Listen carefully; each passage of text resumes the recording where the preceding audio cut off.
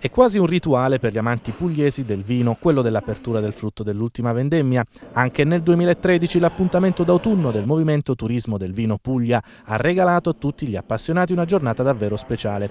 Cantine aperte a San Martino, Tanti visitatori curiosi di provare la qualità del lavoro svolto durante l'ultima vendemmia direttamente in cantina. Sette in tutta la Puglia le aziende che hanno aderito a Cantine Aperte, iniziativa che si è svolta con il contributo dell'assessorato regionale alle risorse agroalimentari tenuta Fuianera alle porte di Foggia, Villa Schinosa, Trani, Terre di San Vito, Apolignano a Mare e nel Salento la cantina San Pietrana di San Pietro Vernotico, Apollonio di Monteroni e a Guagnano tenute Emera e Cosimo Torino.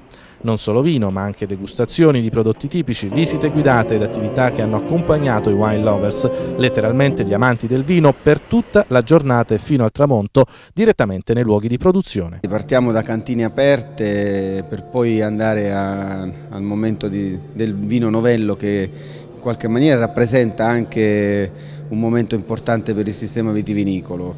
E, ehm, dobbiamo anche incominciare a raccontare anche che il novello ha la sua importanza ma soprattutto fa parte di un, dire, di un circuito che continuiamo a voler valorizzare fortemente. È una tradizione che funziona, che attira molto l'attenzione della, della, gente perché è un ottimo motivo per visitare le cantine, le nostre produzioni, assaggiare il prodotto nuovo che è sempre ben accetto e comunque le, le nostre produzioni che ormai hanno un ottimo riscontro a livello mondiale. Davvero notevoli le sale del Museo del Vino di Cantine Mera e gli appassionati non si sono certo lasciati sfuggire l'occasione di ammirare da vicino alcune opere d'arte di notevole valore storico e di origine origini antichissime.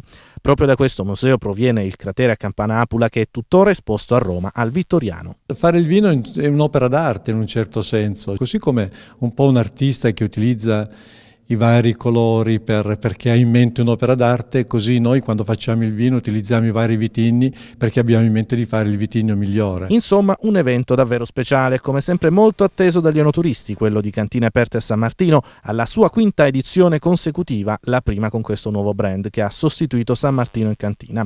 Gusto, profumi ed emozioni che solo un calice di vino riescono a dare, parola di Wine Lovers. È una cosa bellissima, il posto è stupendo, atmosfera molto bella e il vino è veramente buono. È un'iniziativa importante anche perché fa sì che si conoscano i prodotti della nostra Puglia.